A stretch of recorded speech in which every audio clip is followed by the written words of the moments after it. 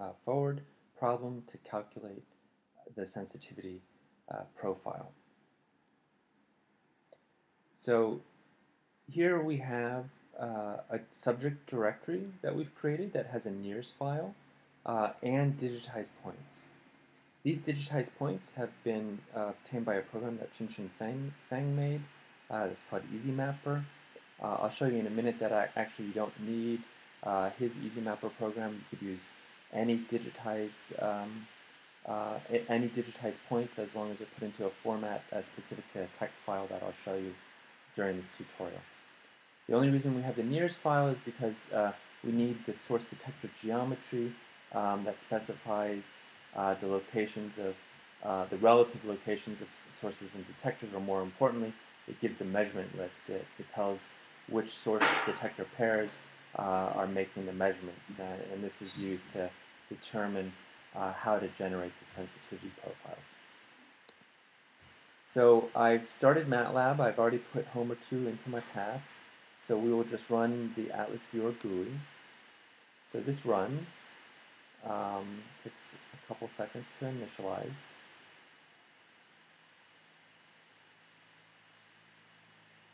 Okay.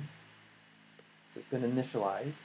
You can see it's generated two directories in our subject folder, a forward FW directory and a viewer directory. The first thing we want to do is actually convert these EasyMapper points to uh, dig points, digitized points.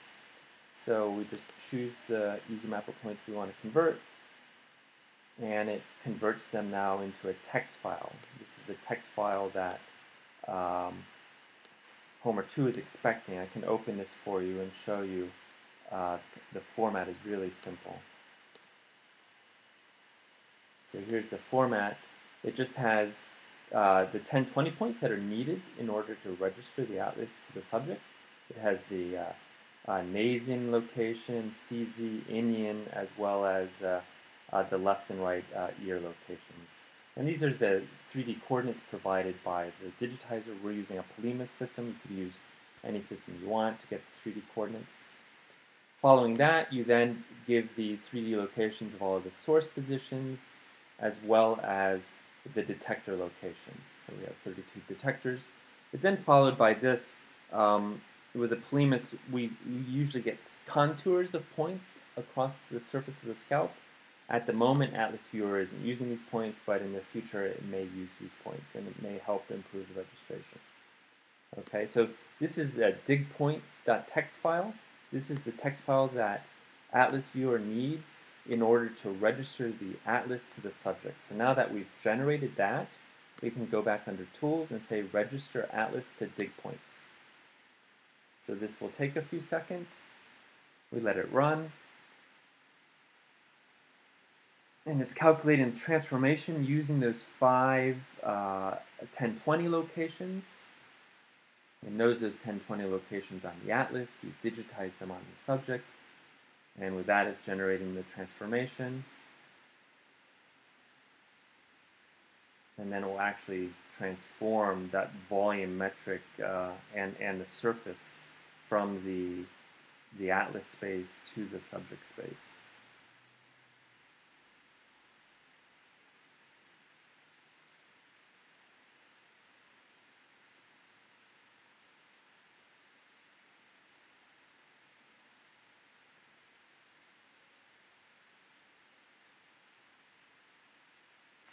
So that is now done. It's put the subject into, sorry, the atlas into the subject space. We can rotate this around to get a better view of it.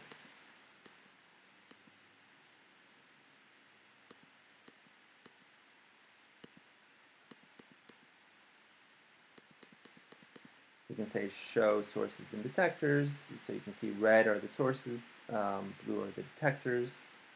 And we can also see the corresponding measurement list. This is the measurement list that was obtained from the NIRS file. Okay. Now you can see that these optode locations are not on the surface of the head. As commonly happens when you digitize the optodes, you may be digitizing on top of the optode, uh, which is floating above the surface of the head. So we want to say register probe to the surface of the head, and that would just pull all the optodes down to the surface of the head.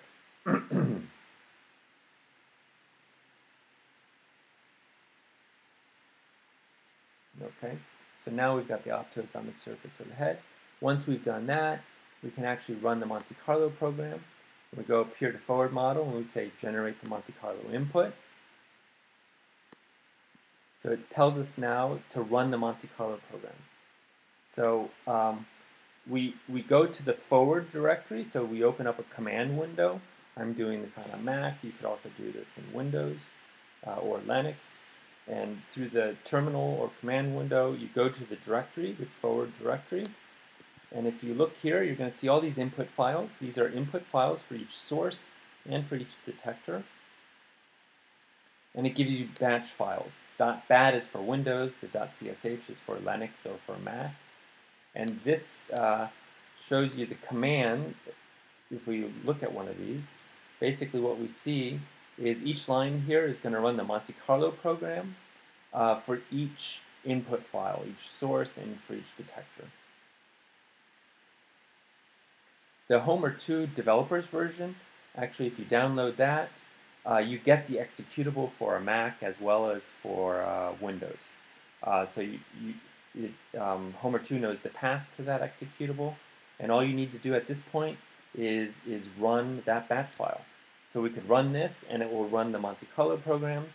And depending on the number of photons you've specified, this could take anywhere from you know, a minute per optode location to an hour or more per optode location.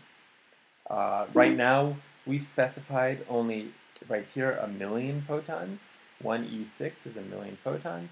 This will take roughly a minute per uh, optode.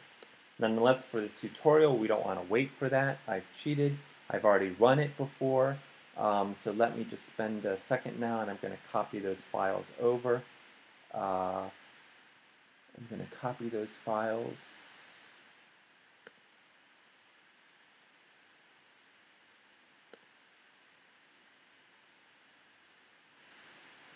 I've already run them.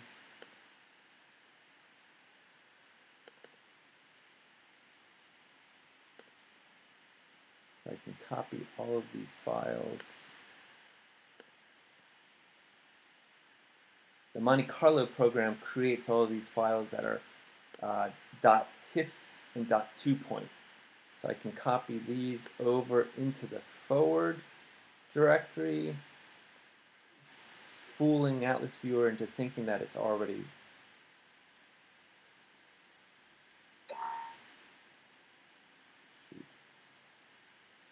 copied into the wrong location.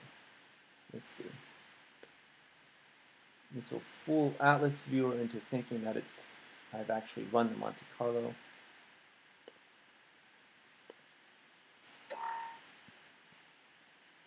So at this point, I can say done. And what it tells me is um, I now use in the menu item generate load sensitivity profile. Uh, you can see this is now available. This will load, this will generate the sensitivity profile for me. This will take about 30 minutes because it has to do two steps.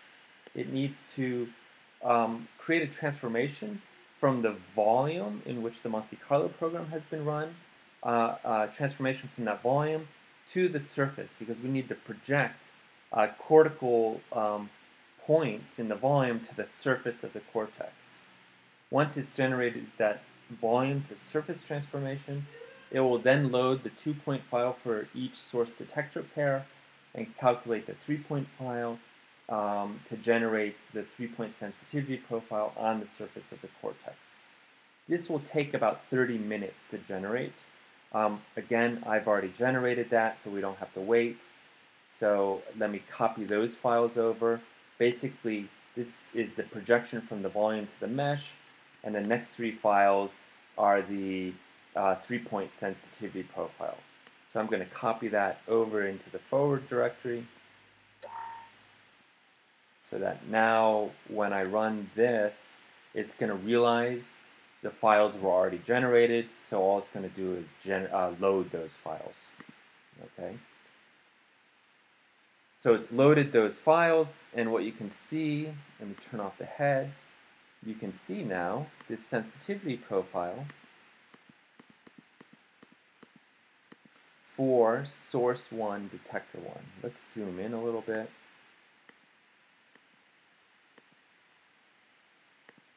I can pan that.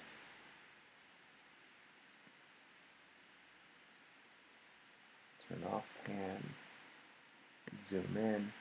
So this is source 1, detector 1, there's the sensitivity profile. I could say, let's look at source 1, detector 5, going here, 1, 5, and there you now see the sensitivity profile for source 1, detector 5. we could do source 2, detector 5, and there's the sensitivity profile for source 2, detector 5. We can also change the threshold for sensitivity. This is a log 10, so it's going from you know minus 2, which is 0.01, to 0, which is 1. I could change this so that it goes only one order of magnitude. So now you see a much tighter scale, back to two orders of magnitude. We could look at it um, for the aggregate of all source detector pairs. I put a 0, 0. We now see the sensitivity profile for all source detector pairs.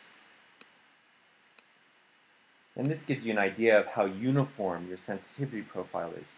So actually here we're seeing this probe, we had hoped to have kind of uniform, relatively uniform sensitivity over the cortical surface, over the motor sensory strip.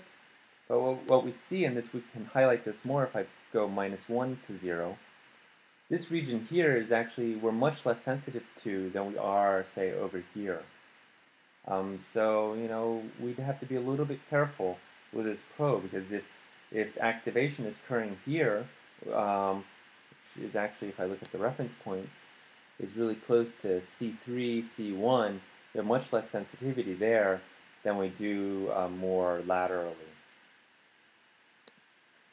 Um, so this is a nice way to see what your sensitivity is uh, to the cortical surface for a specific subject. That covers it for this tutorial.